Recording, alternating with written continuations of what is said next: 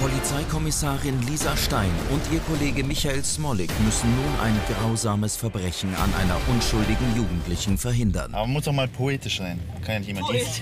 Po Hört? Fahrt zum Tiger und Turtle Gelände. Da ist eine Andrea Grebe, die meldet ihre Tochter als vermisst. Ja, klar, gibt es eine äh, Beschreibung von der Tochter? Beschreibung von der Tochter gibt es nicht, aber die Melderin ist vor Ort. Ja, klar, wir fahren an. Der Einsatzort ist ein beliebtes Ausflugsziel im Duisburger Angerpark. Die Beamten bekommen die Information, dass die Vermisste dort mit Freunden eine Party gefeiert hat. Vor einer Stunde rief sie bei ihrer Mutter an und wollte abgeholt werden. Doch das Mädchen ist nicht aufgetaucht. Egon für 1228, wir sind vor Ort, mehrere Jugendliche, wir klären die Lage. Egon verstanden.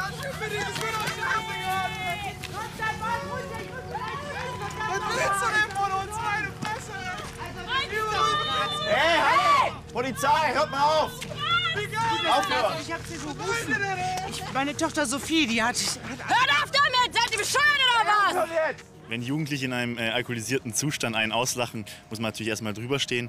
Man ist als äh, Polizeibeamter, muss man professionell handeln und es ging, wie gesagt, um die Sophie, die war vermisst und da kümmern wir uns erstmal nicht um die Jugendlichen, vor allem nicht, wenn sie uns irgendwie blöd anlabern oder anpöbeln. Runter jetzt! Oder ich komm hoch und hole euch. meine Tochter Sophie hat mich Soll ich hoch und euch holen? Ich war ganz schlecht und äh, hat mich gebeten, sie abzuholen, aber die ist nirgendwo. Ich weiß nicht, was mit dem Sie haben uns angerufen, richtig. Ich hab sie Sie angerufen. sind die Frau? Ich bin Frau Weber. Alles gut, wir helfen.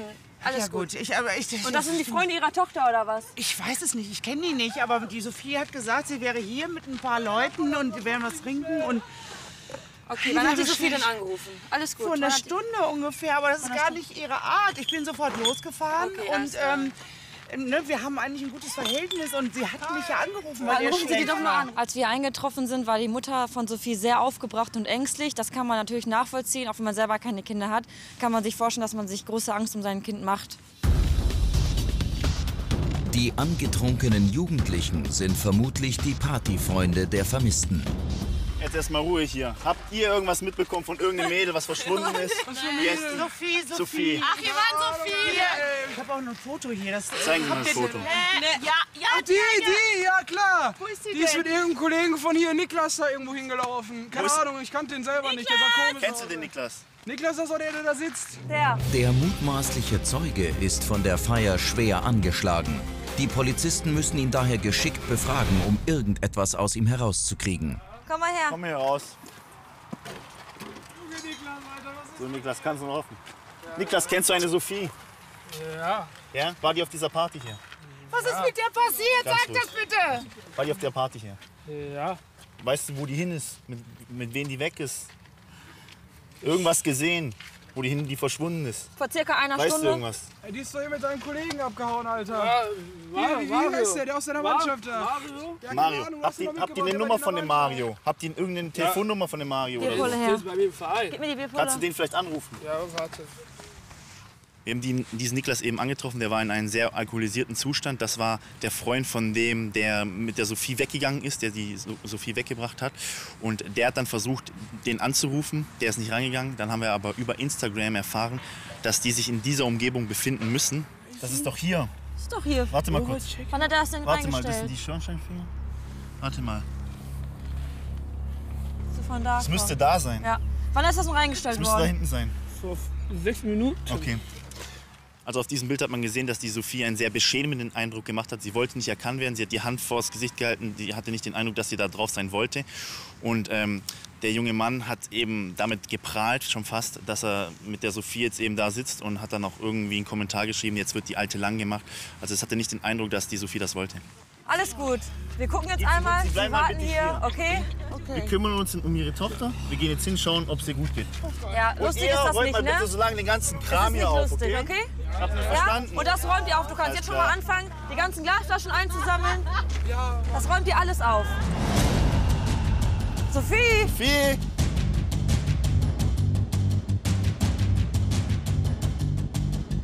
Polizei, Sophie, hallo, bist du hier? Da stehen welche. Stopp, Polizei, aufhören! Stehen bleiben! Stehen bleiben! Stehen bleiben! Keine Bewegung! Ey, ey, ey! Wir haben nichts gemacht! Ey, Zimmer! Wir Zimmer! Gemacht. Ey! Runter! Ey! Ah. Nein, mit den Füßen ruhig! Oh. Zimmer! Keine Bewegung! Ey, was ist los mit euch? Keine Bewegung! Ey! Auf dem Weg nach unten haben wir eben die zwei Jugendlichen festgestellt. Einer hat äh, ein Handy in der Hand gehabt, hat gefilmt. Die Sophie war da und dann noch dieser andere Jugendliche, der äh, die Sophie gepackt hatte. Und dann haben wir eben die zwei Jugendlichen erstmal in Gewahrsam genommen. In letzter Sekunde konnten die Beamten einen sexuellen Missbrauch abwenden. Einer der beiden Männer wollte sich gerade an dem Mädchen vergreifen, der andere die Tat mit dem Handy filmen. Gottes Willen, was ist passiert, Sophie? Ich wollte mich vergewaltigen. Du wolltest das doch. Wie? Du Der wolltest hat das gefilmt. Der wollte mich vergewaltigen. Was? Sophie hat das gefilmt. Du wolltest das. Sophie, Okay, Lisa. Sophie, Lisa, ich durchsuche sie jetzt mal hier. Mal runter. Du auch. Sophie, bitte, sag mir mal, was passiert ist. Wir sind da, wir helfen dir. Das Also, wir wissen nicht, was passiert ist. Wir sind gerade hingekommen und wir haben es nicht gesehen. Also, was ist passiert? Wir waren nur da oben und wir haben gefeiert. Ja. Und dann hat er mir was ins Getränk getan. Und dann hat er mich mitgenommen. Der hat das gefilmt. Hast du was freiwillig getrunken? Nein, Die ich haben wusste gezwungen, nicht, dass dass- da was drin ist. Das würde sie nicht machen. Wie fühlst du dich jetzt? Alles Mir ist schwindelig und ich zitter. Ja, wir rufen gleich einmal einen Rettungswagen für dich. Also ich persönlich kann nur jeder Frau den Tipp geben, wenn man sich ein Glas, egal ob das in der Disco oder sonst wo holt, entweder am besten eine Flasche und dann die Hand drüber oder auch auf das Glas die Hand drüber halten, dass da keiner was reinschütten kann und das Glas nie in fremde Hände oder irgendwo stehen lassen. Auch nicht zur Freundin sagen, die dann vielleicht selber betrunken ist, kannst du das mal für mich halten. Der Täter hat immer eine Möglichkeit, da was reinzutun. Niemals auf andere Leute verlassen. Bei der Durchsuchung der jungen Männer entdecken die Kommissare nur bei einem der beiden ein Handy. Doch darauf gibt es kein Video, das die versuchte Vergewaltigung zeigt. Der andere Täter stellt sich unwissend. So, wo ist dein Handy? Das ist sein Handy. Wo ist dein Das ist Handy? Sie hat gerade gesagt, du hast sie gefilmt. Ich habe dich gefragt, wo dein Handy ist. Keins, Mann. Der Grauen hat das gefilmt. Der muss das Handy Wo ist dein dabei Handy? Ich dich jetzt zum letzten Mal, wo dein Das Handy wird ist. Konsequenzen haben. Das wird Konsequenzen haben. Das schwöre ich dir, mein Schatz. Moment. Er hat doch bestimmt die Nummer von ihm drauf, oder? Dieser Lars hat ja behauptet, dass er kein Handy dabei hat. Und äh, da habe ich äh, das Handy von Mario genommen und äh, habe mir schon gedacht, dass der eben die Nummer von dem Lars drin haben muss. Der stand doch gerade irgendwo noch hier vorne. Das klingelt doch da hinten. Klingelt nichts. Aha. Das klingelt doch da. Hey! La la la la la! So, Jungs, ich sag euch mal was. Der Spaß ist jetzt vorbei. Es ist nicht mehr lustig. Ja? Jungs, wir haben hier Betäubungsmittel gefunden, ja, was der jungen Dame anscheinend ins Getränk gemischt worden ist. Ja, hier noch diese, wir müssen noch prüfen, was, das, was für Betäubungsmittel es ist. Sieht mir sehr nach Kokain oder Speed aus. Kann ich jetzt natürlich noch nicht so sagen. Und das ist anscheinend ein Handy von ihm. Ist da was drauf?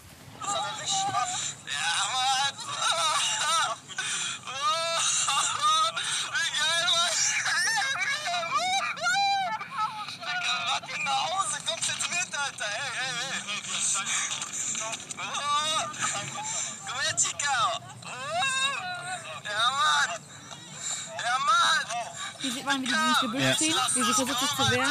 Komm, was wir ausmachen. Komm, Alter. Ja, Mann. Ah, Dicker, das wird so geil, Alter. Oh, Mann. Ah. Ja.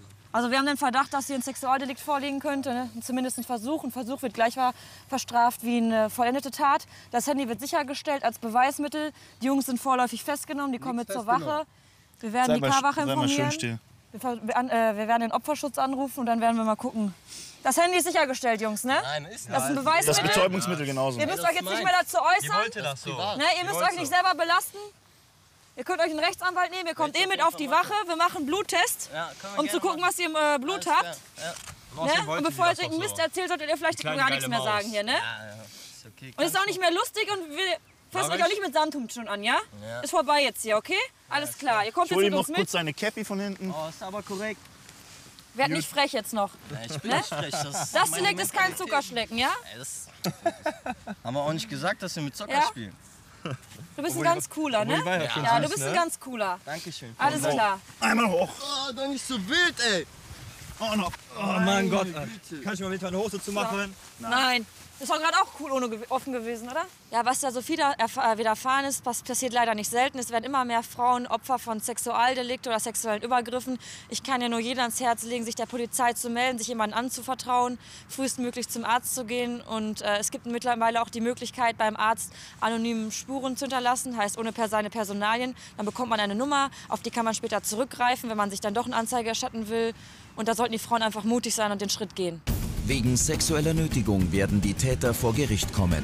Ihr Opfer kann sich körperlich und seelisch vollständig erholen.